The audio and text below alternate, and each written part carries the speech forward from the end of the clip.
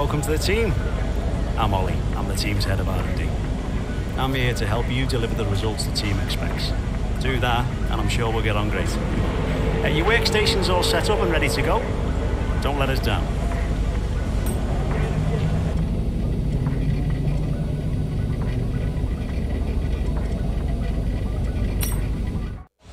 Hello, folks, and welcome to Paddock Pass, your pre-race edition for this, the inaugural round of the 2022 Formula One World Championship. And I've got to say, it feels great to be back. As is tradition, there is something of an air of a first day back at school on arrival here. But it's more than that. Because the new era of Formula One has arrived. And with it, the eagerly anticipated new car regulations, which have been designed to help promote better racing with clean sculpted lines, swooping rear and front wings, which should allow cars to follow each other more closely. New eye-catching 18-inch low-profile tyres, the return of ground effect, and a reduction of aerodynamic physical adornments, the new cars look strikingly different, all while improving safety and pushing the limit of technical ingenuity. So then, which teams have interpreted the rules most effectively, and which drivers will adapt to their new car the quickest? Leading the charge against the rest of the pack. Only time will tell. As always, we can't wait for this season to begin, but for now, from us, that's your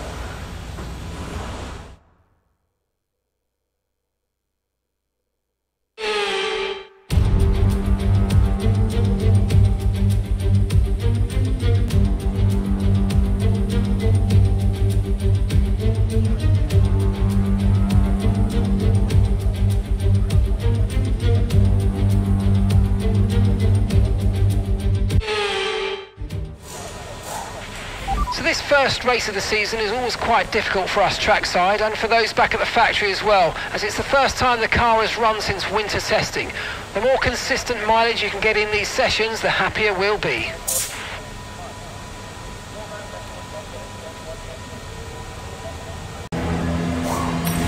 All clear the garage please, car's ready to leave.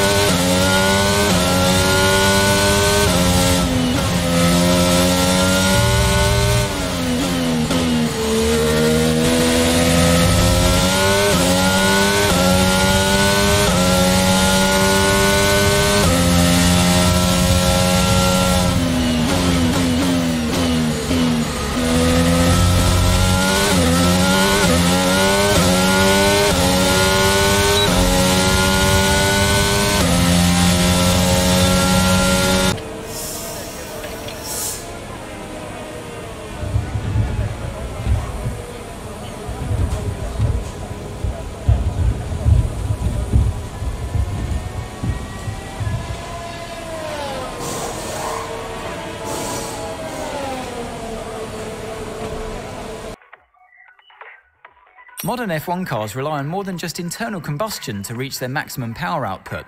The V6 turbocharged hybrid engines generate an extra 160 brake horsepower via the ERS, Energy Recovery System. The power for this electric motor is recovered from energy that otherwise would have been wasted. The MGUK recovers energy from braking and the MGUH from the turbo. The ERS system has a number of modes that can be changed on the fly for either more harvest or deployment, depending on if you need to charge the battery or gain more performance. Each lap, you can only harvest and deploy a limited amount of energy. This remaining value is visible on the MFD. This system will also degrade with use. As your energy store wears, the battery capacity will decrease. Additionally, as the MGUK wears, the rate you can harvest energy is slowed.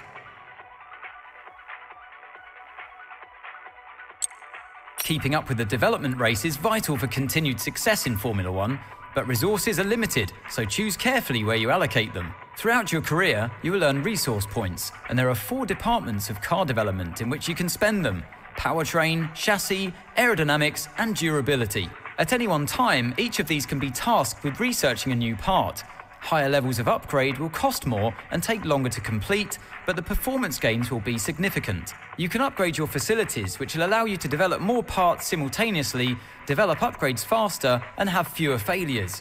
Your engine supplier will also give you updates throughout the season in addition to your own. Department morale is also an important factor, so be careful what you say to the press.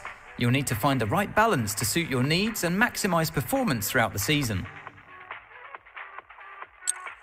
Over the course of the Formula One season, each driver is limited in the number of power unit and gearbox components that they may use. Exceeding these limitations will result in grid penalties. Your available power unit components can be managed on the vehicle management screen.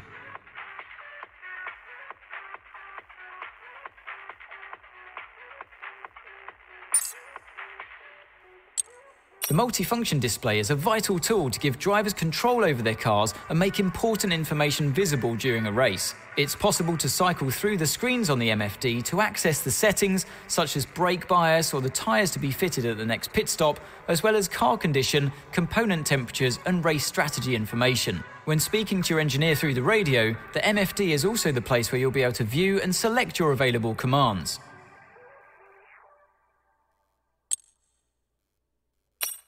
Consistency over a long distance is vital in Formula One, so being able to manage tyres and reduce tyre wear is a useful skill.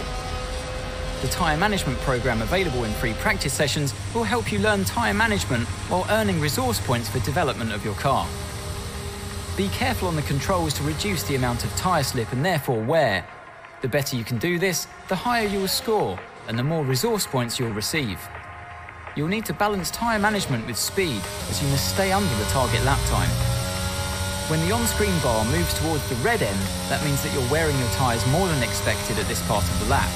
When it moves towards the purple, you're wearing them less. Stay in the green or purple for a successful test.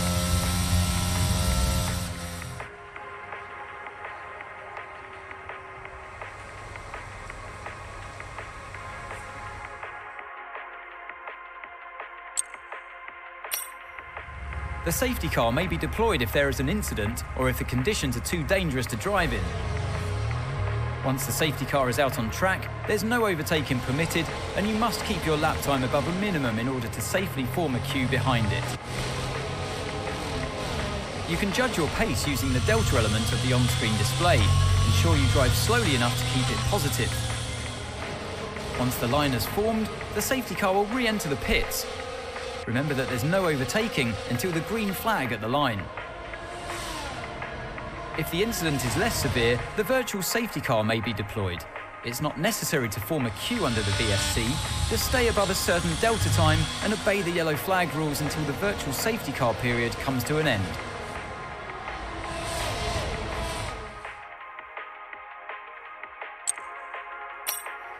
The formation lap is an opportunity to practice your race start and put some energy through your tyres and brakes to get them up to the optimal temperature for the beginning of the race.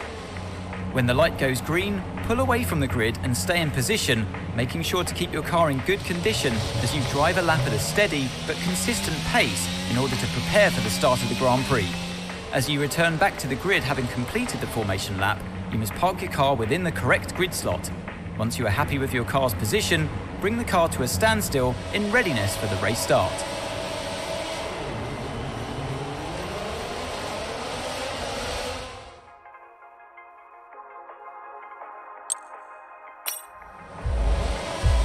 Races aren't won from the start line, but they can be lost, so getting a good start can make an important difference to your Grand Prix. As the lights come on, engage the clutch by holding the gear up button. Then, feeding the throttle to build up the revs. When the lights go out, release the clutch and it's away we go. But be careful not to release the clutch too early or you may end up jumping the start. If your RPM is too low when you drop the clutch, your car may go into anti-stall. Don't panic if this happens, keep a cool head, clutch in, build up the RPM and then release the clutch just like the start procedure to get underway again.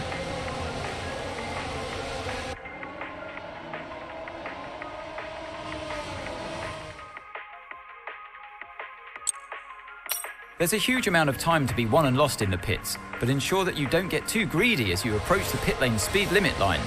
On the approach, you'll see a notification of the pit lane speed limit and your distance to the limit line. If you cross this threshold too fast, you'll be giving a speeding penalty, so be careful. There are valuable tenths to be won by getting it right though, so leave your braking as late as you dare. Managing your turn-in point in towards the pit box is essential in helping you and your pit crew achieve the fastest pit stop time possible. Get the timing wrong, and this can cause you to add considerable time to your stop, meaning crucial seconds advantage could be given to your opponents out on track. At the pit exit, it's important not to cross onto the racetrack before reaching the end of the white pit exit line.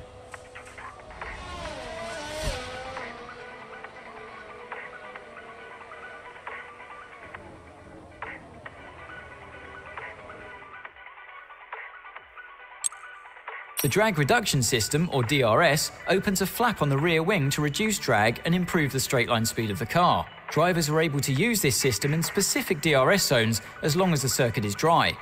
There are no additional restrictions to DRS use in practice and qualifying. However, in a race, the system can only be used when the driver is one second or less behind another. Watch the bar at the bottom of your multifunction display as you approach the DRS zone to see your distance to the activation point and activate it by pressing the DRS button when the prompt appears.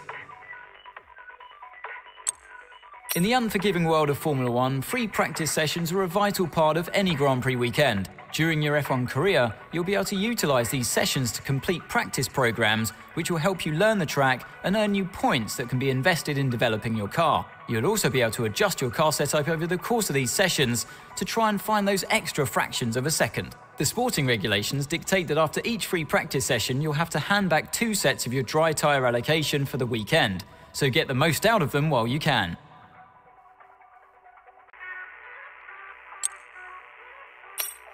The track acclimatization program available in free practice sessions allows you to learn the track whilst earning resource points for the development of your car. On-track markers show the key points through each corner, and the more of these you're able to consistently drive through at an appropriate speed, the higher your score and the more resource points you'll be rewarded with. Try and chain together multiple successful corners for a consistency boost to your score.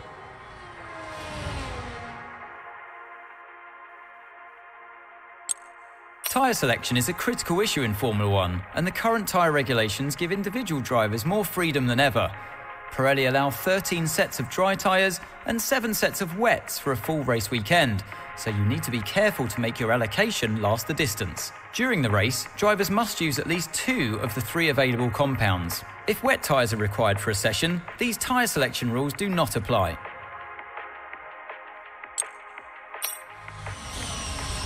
In today's era of hybrid engine technology, Formula One employs a strict maximum limit on the fuel load. In order to run as light as possible, teams will tend to underfuel their cars, but this means that drivers need to save fuel during the race. Fuel saving can be achieved by using a technique called lift and coast,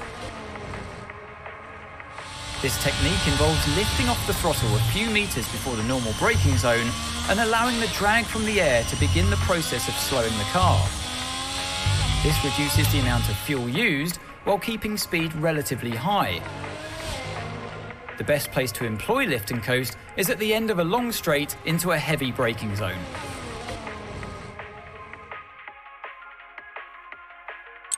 The qualifying pace program available in free practice sessions challenges you to beat a target time that corresponds to an expected position on the starting grid. Complete a flat out lap on the fastest tyre compound to set the best time you can, and you'll earn some resource points for hitting your target. The Race Strategy Programme is all about developing a personal race strategy. This test will help the team to understand how much fuel is required and also the best tyre policy to employ for the race. The results are determined from data which is directly affected by your driving style, so managing your fuel and tyre wear during the test, for example, will result in a strategy that caters to these qualities. Sprints are a shorter race session around one third distance of a standard Sunday race. Drivers are not required to pit during a sprint for a change of tyres, though they are not prohibited from doing so. The results of the sprint form the grid for Sunday's race, and there are points awarded for the top eight finishers of the sprint in the following denominations. First place awards eight points, second place awards seven points, third place awards six points, all the way down to eighth place with a single point.